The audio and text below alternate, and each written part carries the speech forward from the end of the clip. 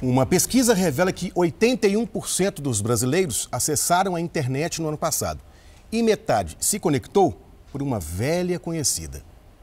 A TV é uma boa companhia há muito tempo. Está nas memórias da infância em família. Aos domingos tinha aquele almoço de família assim, e aí a TV fazia parte, né? O tempo passou, o aparelho de TV que ganhou telona ficou inteligente.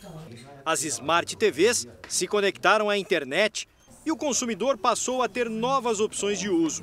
Por exemplo, assistir aos conteúdos do Play Plus virou rotina do casal.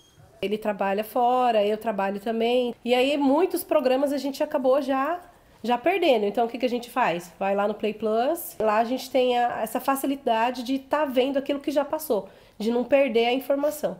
Quando a gente conheceu a internet e começou a navegar, os computadores eram o meio para acessar a rede. A tecnologia então chegou aos celulares e depois aos aparelhos de TV. E o número de telas como essas, conectadas nas casas dos brasileiros, não para de crescer. Tanto que hoje tem mais gente que acessa a internet pela TV do que pessoas que usam para isso o computador.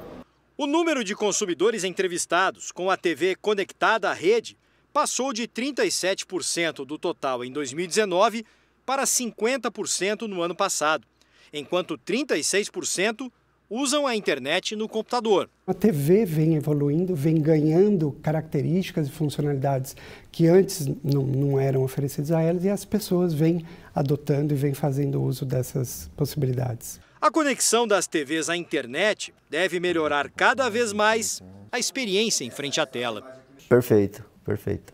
Combinação perfeita.